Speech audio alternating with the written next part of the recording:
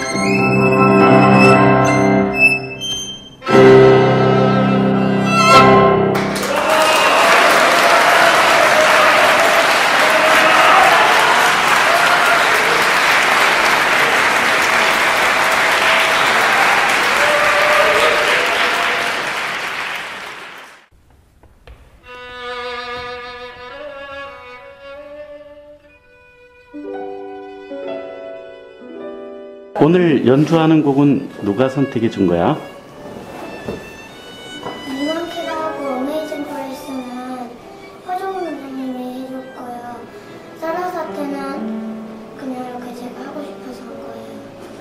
사라사태 거는 유튜브에서 동영상을 많이 봤나 보지? 네. 아, 그 느낌으로 한 건가? 아니면 지금 사사 받으시는 선생님한테, 교수님한테 따로 레슨 별도 받았나? 네.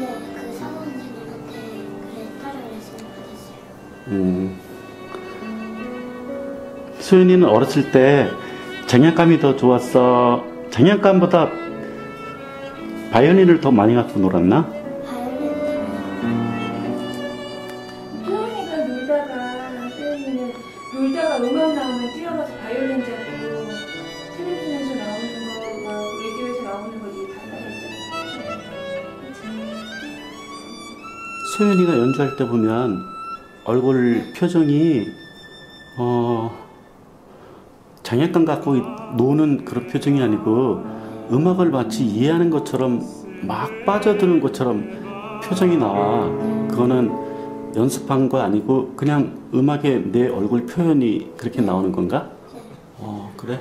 그냥 어떤 부분에서 막 표정은 그냥 가 그냥 하는 거고요. 그냥 지어지는 그냥 거고. 지어지는 어. 거고 마음이 연주할 어때? 때 느낌은 그 내가 하나님한테 감사하는 느낌. 어 그래? 바이올린보다 바비니 형을 도와, 좋아했을 텐데 유튜브 딴 애들은 도저히 상상도 못하는 유튜브를 보고 자기가 거기 빠졌다는 게 참 신기하네 아까 그곡 들으면 눈물도 흘리고 네. 그래요? 그러니까 그네살 때 한국에 네 살이니까 한 세 돌쯤 됐을 때 이제 얘가 그 인터넷으로 이제 유튜브에 올려놓으면 자기가 이제 그걸 갖다가 클릭해서 음악을 듣는데 그 아리랑을 듣고 어, 또 듣고 또 듣고 또 듣고 또 듣고 하면서 울더라고요. 아리랑 곡을요? 네, 아리랑을. 그래서 그래서 바이올린 그 아리랑을 듣고 막 이제 눈물을 흘리더라고요. 그래서 너무 신기해서 이제 소연이 오빠랑 제가 어, 어 저기 소연아 왜 울어 그러니까 엄마 마음이 뜨거워 이러더라고요. 네. 이제 그래서 엄마 음, 마음 마음속이 뜨거워 뜨거워 이렇게 얘기를 하더라고요. 그래서 아 얘가 되게 감성이 좀 풍부하고 그러나 보다 근데 역시 바이올린 하면서도 이제 즐거우면 막 웃으면서 춤추면서 하고 또 이제 좀 자기가 느끼기에 좀 슬픈 감정이다 그러면은 굉장히 슬퍼하면서 울면서도 하고 하면서 뒤로 또 자빠지기도 하고 그리고 놀다가도 이렇게 소극장난하고 놀다가 이제 제가 항상 음악은 틀어놨거든요. 근데 아 이게 뭐 애니메이션 주제곡이라든지 뭐 재밌는 노래가 나온다 그러면은 이제 제가 항상 이제 옆에다가 바이올린을 놨었어요. 근데 바이올린 배우면서부터는 그냥 4살 때부터 바로 뛰어가서 자기가 그냥 이제 어 저게 재밌는 곡이네 그러면은 막 음 찾아서 하더라고요. 그래서 그때는 되게 신기하고 엄마로서 아 그냥 참 보기 좋다 즐겁다 소원이도 즐거워 음, 그랬죠. 음. 소연이 반 애들이 뭐라 그래? 신기하다 그러지 않아?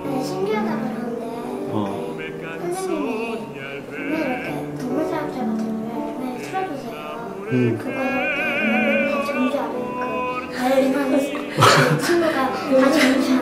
바이올린 소리만 나오면 소연이가 한 거냐고 다들. 아.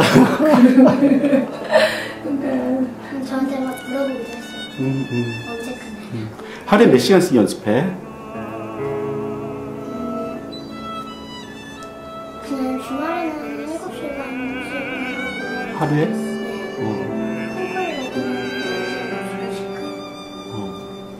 평소 때는 평소에는 그냥 8시간 요즘에는 3시간. 네, 3시간, 4시간. 어, 안에서 세 서너 시간. 시간. 그럼 네. 쉬지 않고 계속 해? 아, 근데 사- 중간에 좀 쉬지 네, 중간에 아, 그래? 좀 쉬게끔 하는데 사실 바이올린 잡으면 굉장히 집중력이 좀 높아져서요. 그러니까 얘기하지 않으면 3시간 금방 가요. 그래서 방학 때는 너무 빠지니까 그냥 끊어서 하거나 학교 다닐 때는